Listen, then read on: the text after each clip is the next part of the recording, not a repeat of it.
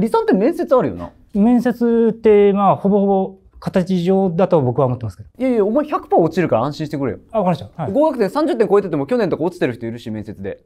あ、そうですか？おう多分まともな受け答えができるようにならないと、勉強以前の問題で。こんなん医者にしちゃダメでしょってなるでしょ、普通に。でも、臨床っていうのは臨床医だけじゃなくて、研究者っていう、あ、いや、違う違う違う。まず医学部に入ることができないよって言ってる。でもその面接の点数ってそんなに高くないっていうのは僕は認識です。そう言ってる時点でもうアウトじゃん。誰が言ったんだそれ形だけって。僕の考えです。あ？お前自分の考えで僕の考えですとここで言ってそれ通用すると思ってんのかお前？調べろよお前そんなこと。調べましもう調べた結果、はい離散の面接は形だけだったか。た。はい。いや、落ちてる人おるよ。お前みたいなやつが落ちたんだよ。そうですか。おこういうのを落とすために面接があるんだよ。正解。